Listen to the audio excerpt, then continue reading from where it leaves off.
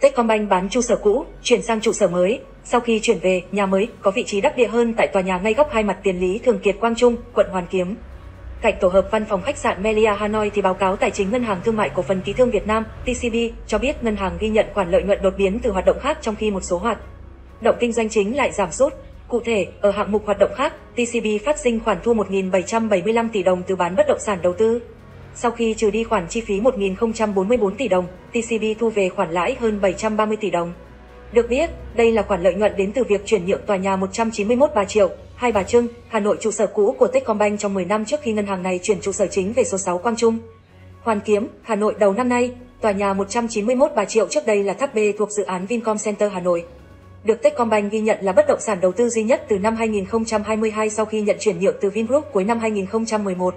Nhờ khoản lợi nhuận đột biến này, TCB ghi nhận lãi thuần từ hoạt động khác đạt 1.057 tỷ đồng trong quý đầu năm, cao gấp đôi cùng kỳ năm ngoái.